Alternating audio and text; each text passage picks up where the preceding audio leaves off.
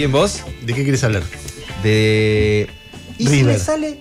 Sí, lo único que me importa es el superclásico de mañana. O sea, por irme el país que pase lo que pase. Pero lo que más me importa es el martes. Este. Pensaba anoche. Me, me quedé escuchando al argentino chileno José Luis Daza, que ayer hizo su primer discurso, acaba de asumir.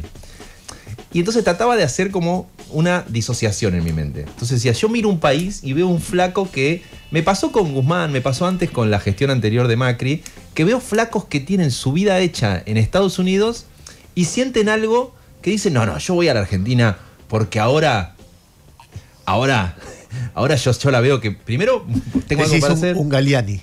Galeani, Werning, Guzmán. O sea, lo quiero decir general. Que gente que se fue allá, no Guillermo Calvo, por ejemplo, que es candidato al Nobel argentino, que dijo, nunca en la vida voy a dedicarme a la política ni a la consultoría. Se quedó siempre allá. Que siempre que yo me acuerdo, mis únicos 12 días que estuve en la Universidad de Columbia en una beca, eh, digo, ¿cómo carajo vuelven a hacerse cargo del quilombo? Porque estás ahí tirado en el pasto, subrayando.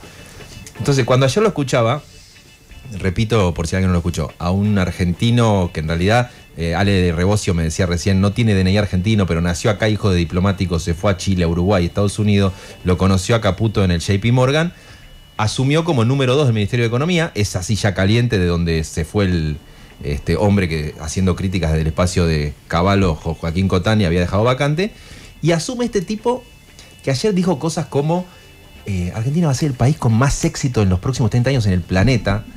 Eh, dijo cosas como... eh, pone uno solo para entender que quiero transmitir lo que a mí me generaba como pregunta, aunque a vos te parezca, Jairo, estás drogado. Eh, pone el audio 11 de José Luis Daza, flamante viceministro de Economía. No veo ningún país con el potencial de eliminación de la pobreza, creación de movilidad para toda la población y de creación de riqueza. Este país, si logramos implementar las medidas que el presidente Milei quiere implementar, se va a transformar en una máquina de generar riqueza para toda su población. Para mí decir, o sea, yo no comparto lo que dice el tipo, pero me trataba de poner en la cabeza de alguien que yo puedo pensar, bueno, se está autoengañando, se está vendiendo un discurso porque viene a hacer negocios con amigos de ver, finanzas. yo te digo- pero en un momento digo, ¿y si el tipo cree eso y está viendo algo que yo no veo? Esa era mi pregunta ayer. Bueno, es una pregunta totalmente legítima. Eh, vamos a la realidad. Porque. eh, ¿qué El termo, me alcanzas el termo. Porque yo mientras te escucho necesito cebar el mate. Es una pregunta eh, totalmente legítima. Ahora, recién escuchaba a Ale Berco hablar sobre China y yo me acuerdo mucho, mucho, mucho una experiencia que alguna vez conté, que yo tuve la oportunidad de seguir mucho, eh, cubrir mucho los viajes de Menem. Eh, cuando éramos chiquitos con María nos peleábamos por ver quién ganaba el viaje en página. Claro. Porque yo cubría gobierno y, y en un momento se va otra persona que cubría gobierno, que era Gabriela Cerruti, a- a- a- a- se va al exterior por un año, creo que a Inglaterra se había ido, y María entra a gobierno. Y a mí me, me- me gustaba que María estuviera ahí, qué sé yo. Eh, el otro día hablamos de eso porque me dice que encontró cartas que le mandó a Cerruti donde hablaba de mí, hace como De esa 30 época. de esa época, diciendo, yo creo que no tiene problema, que tiene buena onda, pero hay algo que le hace ruido. Le había escrito ella. Y entonces, eh, a, mí me encantaba la- que laburara María ahí, eh, pero había una cosa que no me gustaba, que a mí me gustaba los viajes fueran para mí. Y hubo un par de discusiones que creo que se las gané. Y después viajé yo y viajó, María viajó, pero primero en página, después en la Nación, pero por el mundo entero.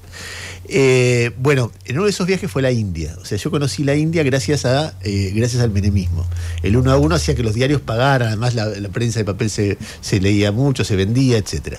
Y entonces conocí Nueva Delhi, conocí Bombay y conocí el. ¿Cómo se llama? Eh, el Taj Mahal. Tengo una foto con Gostanian, mucha gente ni se debe acordar que era Gostanian. Gostanian Mucha un, gente de las nuevas generaciones no debe saber. que existe Gostanian. Gostanian era eh, un gordo grandote armenio lleno de plata, un vendedor textil íntimo amigo de Menem. Y que era para la prensa progre uno de los símbolos del mal. Eh, y yo tengo una foto que mi vieja tenía siempre, la- no sé si la puedo encontrar, mi vieja la tenía en su escribanía, yo abrazado con Gostanian en el Taj Mahal. Esas cosas del periodismo que son ¿La fantásticas. recuperaste esa? De- no, la tengo que recuperar. Y del menemismo. Eh, eh, cuando murió mi vieja, recuperé una foto que yo quería mucho, que era en un hotel de Tokio. Estaban los periodistas y llegan Menem y Caballo. Y yo le estoy dando la mano a Menem y saludando a Caballo con la cosa, y Caballo me está mirando y saludándome, la saca alguien de tela y me la regala. Y la tengo todavía ahí, era yo muy pendejo, y para mí era, estoy saludando a Menem, e-, e-, era como divertidísimo. Bueno, ¿a qué iba con esto que vos decís? Eh, como advertencia que me quedó para siempre. Eh, en Bombay, a ver, así como decía Ale Berco recién, en, China hay dos ciudades típicas, la capital, que es Beijing, y el polo económico, que es Shanghái. Eh, en, otra época, ahora no tanto, en España era lo mismo, la capital era Madrid y el polo económico era Barcelona o Cataluña. Eh, siempre en el centro está la capital y en el mar está el polo económico. Se, reproduce en muchos lugares esta situación. Bueno, el polo económico, la ciudad rica, era Bombay. ¿Vos ibas por las calles de Bombay? Mm. No, no, era desgarrador. Eh, la gente eh, eran a ver había rascacielos lugares de la city espectaculares salían dos cuadras yo caminé ¿eh? la estación de trenes eran cientos y cientos miles de personas durmiendo pero era como la playa Bristol pero no había dónde dormir las casas pero ¿qué te digo? Millones de casas. eran unas chapas apoyadas contra una pared que de repente era la pared de la estación o la pared de un edificio. Y entonces adentro vos veías gente comiendo de un plato con una, pasta que no sé qué sería, con, los dedos, en la oscuridad, sin baño, sin nada. Y en ese contexto yo participé de una conferencia entre el capo de los industriales eh, hindúes y Menem, donde se decían exactamente las mismas cosas, el milagro hindú. Y, cómo está creciendo, y cómo está creciendo Argentina, y cómo está creciendo China, y cómo está creciendo Argentina. Ahí ya eh, eso debe haber sido 94, todavía no había, eh, o 95.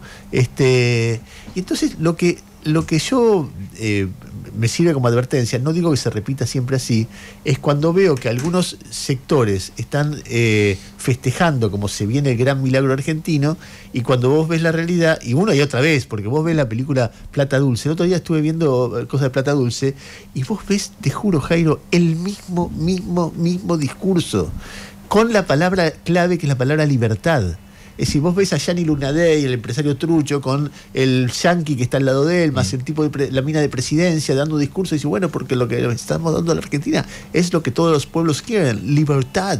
Así dice el plata dulce. Con lo cual, yo tengo, digo, yo escucho al chileno y lo primero que me sale como, como ser humano, como argentino, ojalá. Claro. Lo segundo que me sale dice, ¿cuántas veces un funcionario me dijo estas pavadas? Hacelo y después lo vamos a disfrutar y te vamos a aplaudir el día que lo hagas.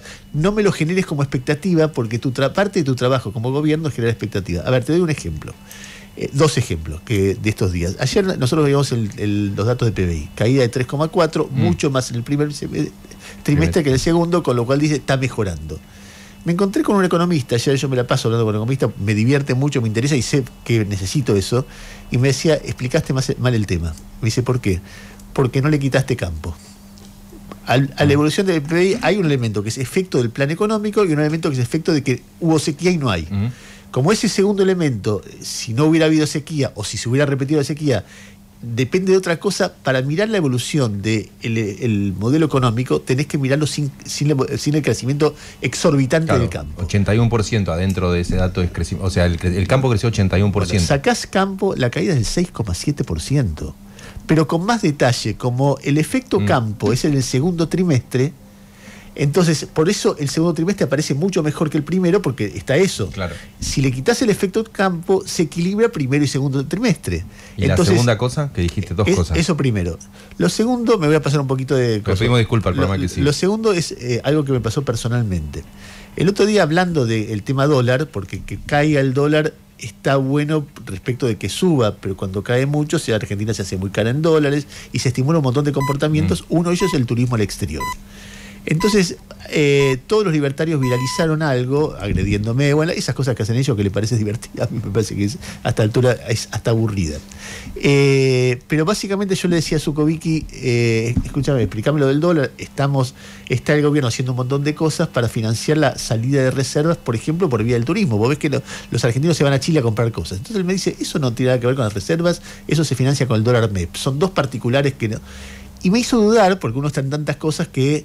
Pero me pareció como disparatado. Es verdad, los que compran dólar- dólarmente, pero los que pagan con tarjeta en el exterior y cubren la tarjeta con pesos, después el gobierno tiene que darle a los proveedores del exterior dólares. Y los dólares salen de ahí. Entonces me fijé, eh, pero lo retuiteé a mi ley, diciendo, este boludo no sabe nada de economía, que yo, puede ser que yo no sepa de economía, me puedo equivocar, tampoco es tan... Pero me pongo a ver los datos de cuántas reservas se fueron por turismo al exterior en estos últimos seis meses, son 6 mil millones de dólares. O sea que vos decís, baja el dólar, ¿es bueno o es malo? Entonces, todo el tiempo, con estos tipos están viendo cómo ven la economía. Te explican que no cayó tanto el PBI porque te meten en el campo. Te explican que cuando el dólar está bajo, subsidiado, y la gente gasta, eh, va al exterior a gastar, vas a ver lo que va a hacer el verano con eso. Eh, el otro día me decía, bueno, me decía alguien, no sé si me- después en todo caso veremos el informe, eh, me decía que están mirando cuánto vale una vacación en Camboriú y una en Mar del Plata. Vale igual Claro. con el pasaje incluido. Entonces, ¿qué va a pasar con las... Y eso es dólar subsidiado para que mi ley tenga buena imagen o baja la inflación en un contexto donde no tenés dólares. Entonces, nuestro trabajo eh, es hacernos preguntas. Una pregunta es, ¿y si sale bien? Totalmente. Eh, y la otra es, ¿no será que se repite el síndrome eh, Bombay? Y la otra es, ¿están haciendo el diario de Irigoyen? El PBI bajó mucho más de lo que ellos dicen y omiten la parte del campo. Lo- el, el subsidio al dólar barato, como tantas otras veces, estimula gastos de reservas, por ejemplo en turismo. Pero hacen todo un bombo con, mirá, estos tipos no saben de economía, cuando que un presidente retuitee eso, te hace preguntas, ¿se da cuenta él o está haciendo simplemente campaña para tratar de destruir la imagen de alguien? No, no sé qué. Eh, no sé, a mí me genera eh, muchas preguntas todo este proceso económico. Falta el dato de pobreza, que viene la semana pasada. El dato de caída del PBI, 6,6% por, eh, sin campo, es un dato calamitoso. Eh, y veremos cómo se recupera. Eh, ayer salió para más datos el dato de confianza del consumidor. Se derrumba de vuelta.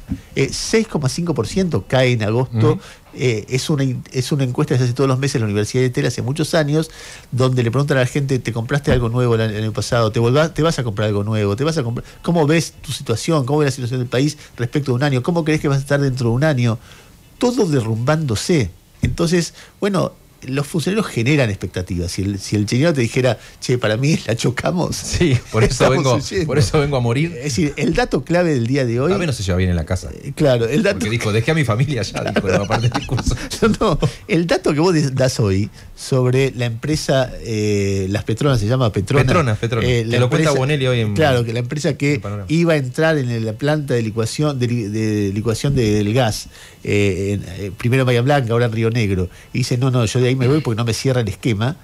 Es un dato demoledor, si es que es así, pero no demoledor, porque también algunas vienen, otras se van, pero que tipos que tienen que poner los fierros acá te dicen, che, tipos muy, muy importantes, quizá el proyecto más ambicioso que tiene la Argentina en este momento, por lejos, por lo que genera, empieza a haber ruido, y yo miraría con atención eso, este, y mientras que el chileno hable, y que tiene todo el derecho del mundo, era un tipo de muy pinochetista, ¿no?